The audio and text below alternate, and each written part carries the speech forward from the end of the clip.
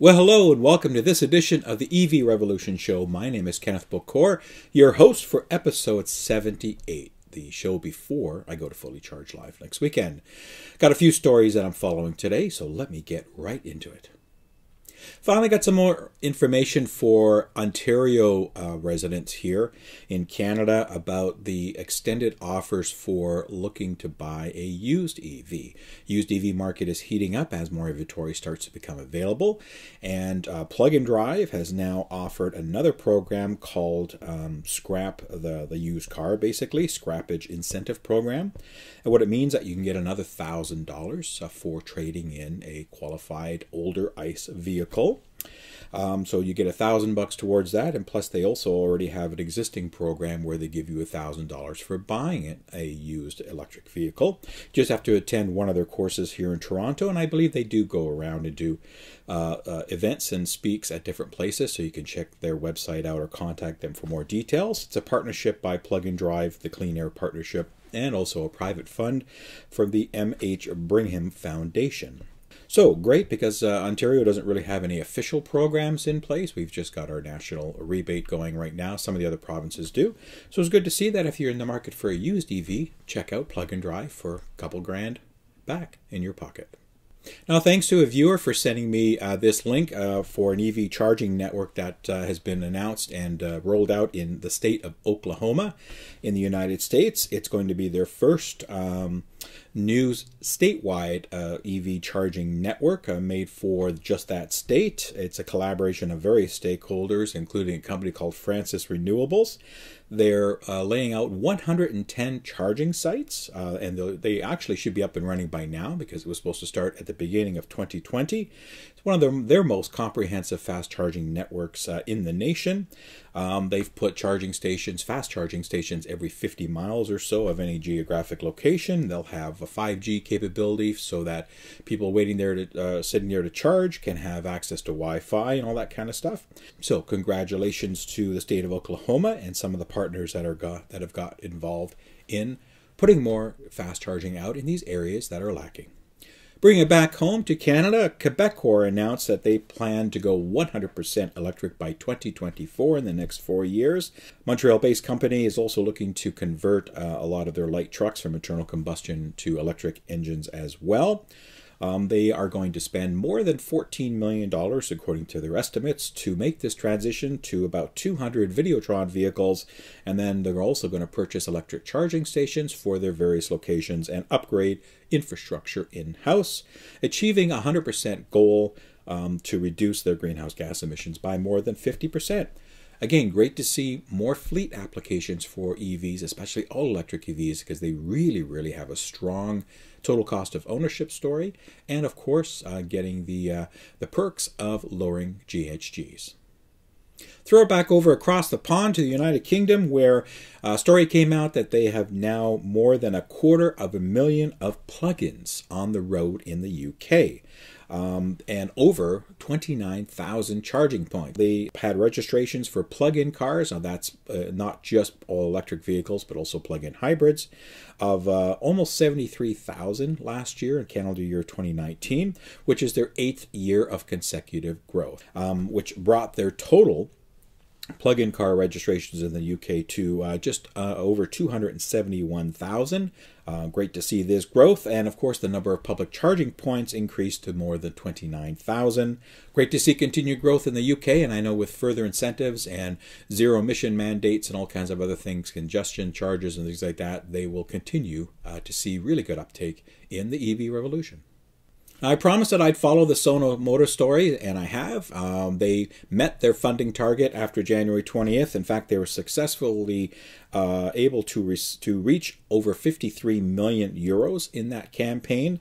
Um, that came from about 75% of their reservation holders. Uh, as far as the monies go 19% from existing or and or new investors and 6% from loans and donations.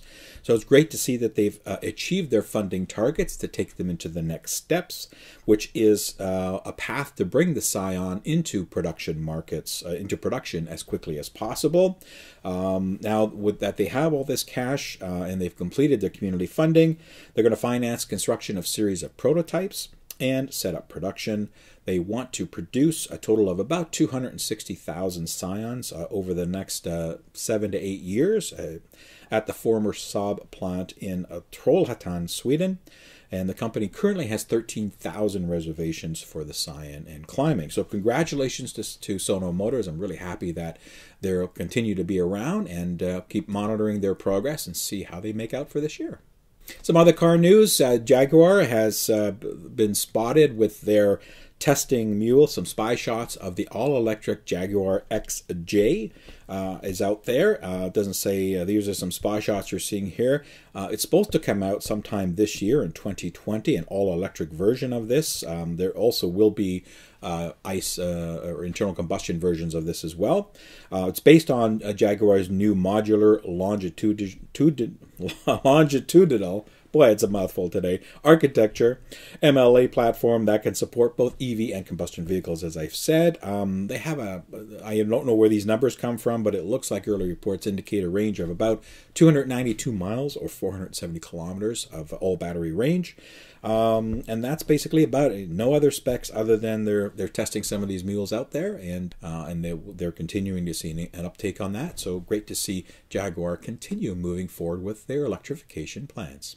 I talked about the MG uh, that's going gangbusters in uh, Europe. Uh, now it's actually uh, starting to be pre-ordered in India, and I mentioned India on a couple of shows uh, that they are, you know, really looking to ramp up electrification and EV adoption and, and other, you know, vehicular adoption as well.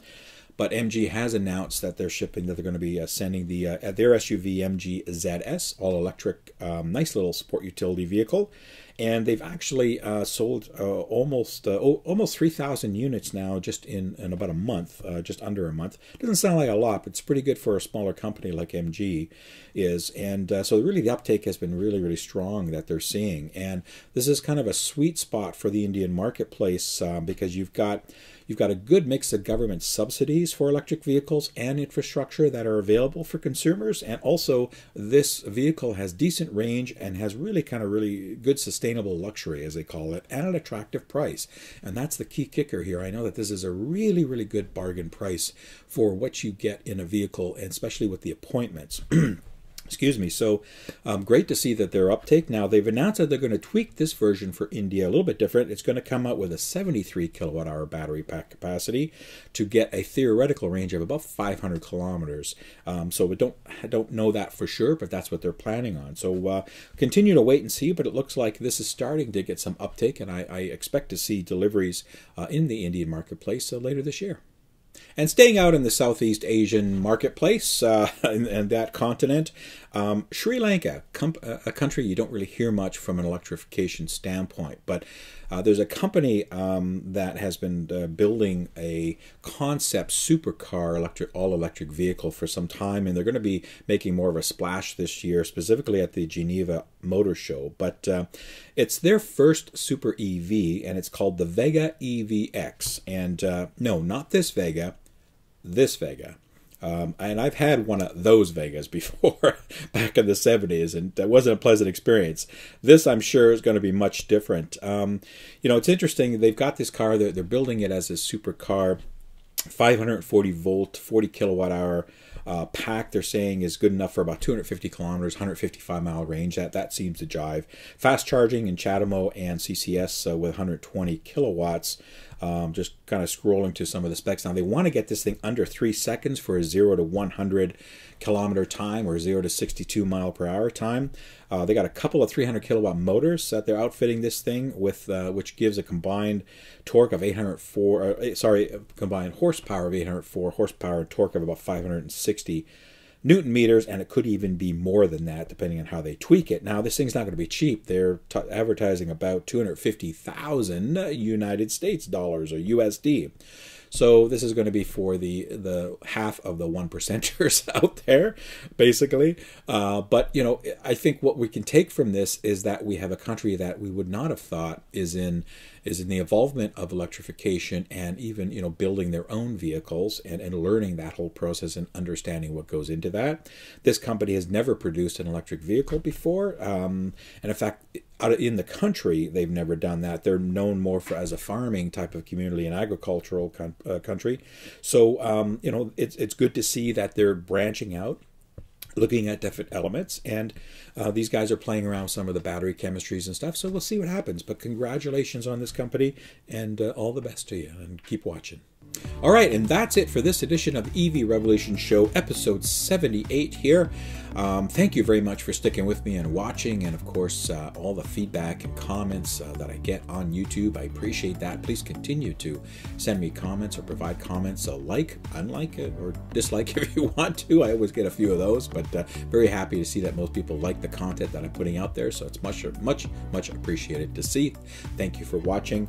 Uh, always, always very humbled by my Patreon supporters. Thank you very much. Uh, continue to to see uh, information and talk to some of those folks I know I'll be seeing uh, a couple of people, I believe, down at Fully Charged uh, Austin coming up. So I really appreciate that. Thank you very much. If you're not sure what it's about, check out my website. If you're interested in helping me out to keep these shows going, even a dollar a month is uh, would, would go uh, would help me out. So appreciate that. Thank you very much. Now I mentioned Fully Charged. This is uh, the last show before I head down next weekend to Fully Charged USA in Austin, Texas. So I will not be doing a show next week because I'll be busy uh, away for that weekend. I'm flying out a, a day before and coming back a day after. Uh, but it should be an exciting, and then I'll, I'll uh, sh- throw that show up in a couple of weeks, uh, the highlights from there. Um, if you are attending, please uh, come by my booth. I've got booth number 300 uh, in the exhibitor hall, and I'll also be roaming around doing filming and interviews and doing all my stuff. Also, I'm on a panel on Saturday. The time is at 3:30 in the afternoon. It's and it's in the uh, Giga Theater, if I've got that right. But you can check out their schedule. It should be coming out. should should come out by now, so you can check out the show schedule and get the lay of the land and all that stuff. So look forward to meeting a lot of folks down there. I've got some feedback already from people saying they're going. Look forward to seeing me, and it should be an exciting time for their first blast into the USA marketplace.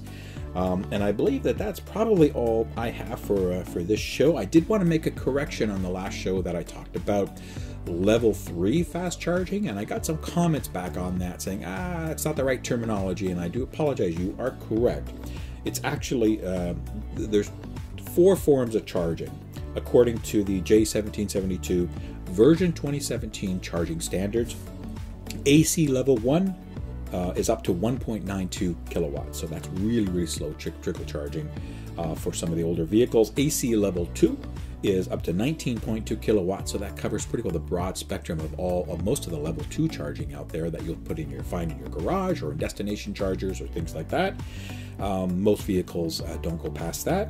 Uh, and then you've got your DC fast charging. You've got level one and level two of those. Level one being up to 48 kilowatts. So most now are, are accepting 50 kilowatts or higher uh, from a vehicular perspective. And then you've got DC level 2 up to 400 kilowatts, which is the ultra fast now standards that are coming out with vehicles like Tesla and others that are going up to 350 or so kilowatts. So thank you very much for people who corrected me on that. Always open to suggestions and uh, letting me know if I goof and say something wrong. I want to make sure I get all my information straight because I learn by you guys. So thank you very much for that. And again, that's it for the show. So thanks very much for watching.